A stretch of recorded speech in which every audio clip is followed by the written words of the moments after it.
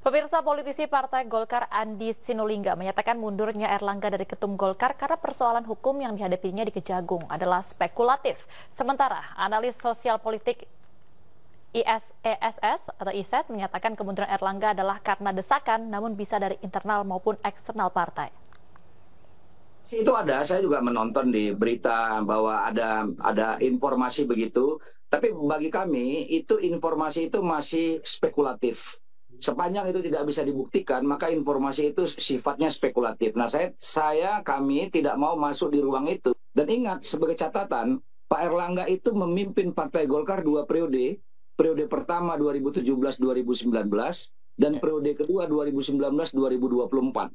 Belum pernah ada terjadi turbulensi apa pun konflik apa pun, kendati pun secara internal pasti ada konflik. Tidak mungkin organisasi sebesar Partai Golkar tidak ada konflik kepentingan, tidak ada perbedaan pandangan. Tapi itu relatif bisa dikendalikan dengan baik. Ya, ini berkat konsensus sesama Partai Golkar itu, kemampuan, kedewasaan mengelola konflik dan dinamika perbedaan aspirasi dan pandangan politik itu.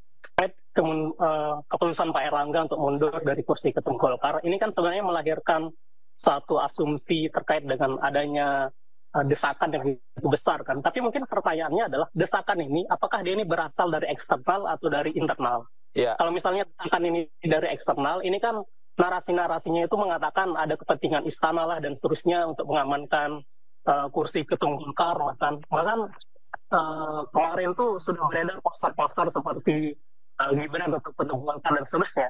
Tapi kalau misalnya uh, ini terkait dengan desakan internal, ini kan berarti uh, elit atau faksi-faksi di Golkar itu ada ketidakpuasan terhadap keputusan-keputusan uh, Pak Erlangga terkait dengan pilkada strategis misalnya di Jawa Barat ataupun di Jakarta.